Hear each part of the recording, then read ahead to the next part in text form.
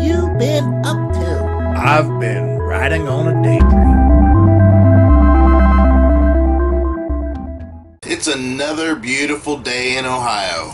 And this morning I'm heading out. I'm going to go to an auction. I'm going to try to get my brother into a camper. He's looking for a pop up because he works the pipelines and he moves around a lot. Right now, he just wants something small to get him out of the hotels and motels that he's staying at. He found a place that has a shower and bathroom facilities and he just wants to try it out. So there's a pop up that's coming up uh, real close to a family member of his, so we're going to go head down that way. I'm not going to bore you with the drive. It's about a 50 minute drive. I think the pop up is going to be kind of cool because I've had one in the past. So let's uh, go down there and see what that's about. All right, so we made it to the auction and everything looks pretty good on the camper. It's an older camper. It needs a little bit of attention inside to make it look nice and be nice, but we're here. You can see all the people's lined up. How long did it take for all these guys to show up? Been, uh, since about nine this morning. So, about an hour. It's got congested. Unfortunately, the camper is going to sell as one of the last things, so we're going to be here a while. But let's go check that out, and I'll show you what it looks like. All right, guys. So here's the camper. Look at this bad boy. Now I know it needs a lot of work, but I've had one just like this, and these things are pretty cool. They're pretty cool campers. Uh, they have like a 10 gallon holding tank for fresh water, uh, and then a refrigerator that runs on all three electric, 12 volt, whatever. You can see the inside here. Really cool. Let's go ahead and walk around the other side. Like in little groups? See here, they got the door kind of jacked up right now.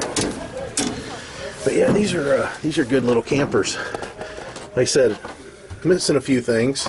Ours was uh, ours was in pretty good shape whenever we sold it. We got a really good deal on it. This folds down to a bed, this gaucho couch. And then uh, they don't have the sides all the way in. And although it shows a little bit of weather, um, it's pretty good. It's pretty solid. The plastics are in good shape. It's easy to tow. So I'm going to try to get this for him, and uh, maybe he can uh, have himself a little place to hang out whenever it's time for him to move from job site to job site. I told him uh, 500. He says he'd pay up to seven, so we'll have to see how that works out whenever bidding goes. All right, guys. So you can see he got the camper. I bid for him, and we got it for 550 bucks. So we put it all down, and we got to address the tire issue before we tow it anywhere. Because although that tire is still holding air, this one here you can tell is on the flat side. So we need to uh, pull this tire off and see what it takes. But we got it. I'll update you guys a little bit further down the road. All right, guys. So it's the next day. it's the next morning.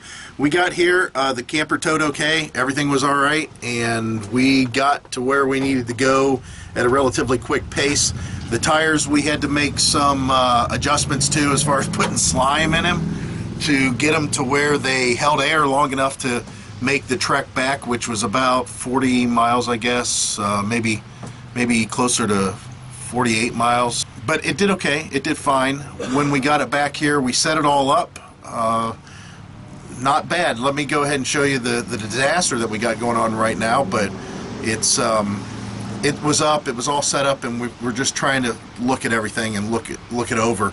We're getting ready to go outside and pressure wash it. It's raining today, so we figured why not just go ahead and clean it and scrub it, and then uh, try to rinse it off the best we can. And the rain's going to do the rest because it's only about 53. So let's look inside. Well, there's the table that goes actually on the other end of the camper, which I'll turn around and show you that now. I don't want to be spinning you guys around.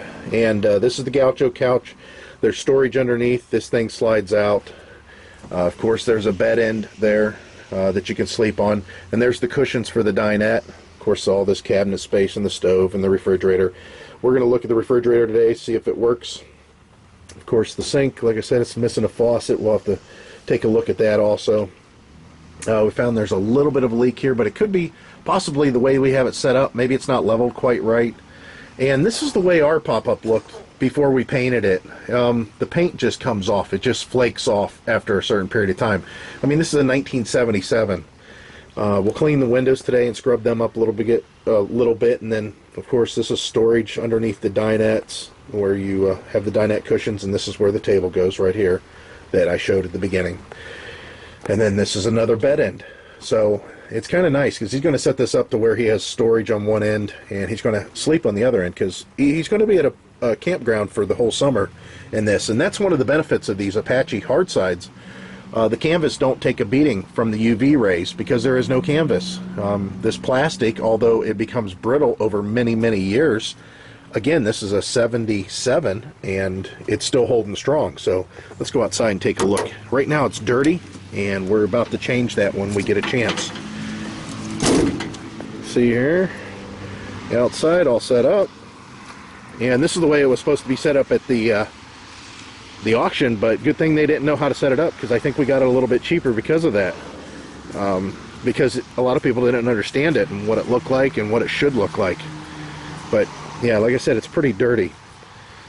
So we're gonna do a little bit of repair inside to make sure that the windows, there's two windows that have small cracks in them. We'll put some clear tape on that and then uh, close all the screens up to where it's windows only. And then I'll get my pressure washer out. We'll put some car wash in a bucket and scrub this thing down and try to make it look nice.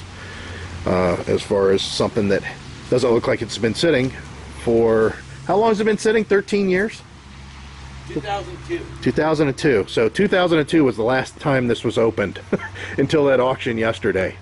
So that should tell you how well these things are built.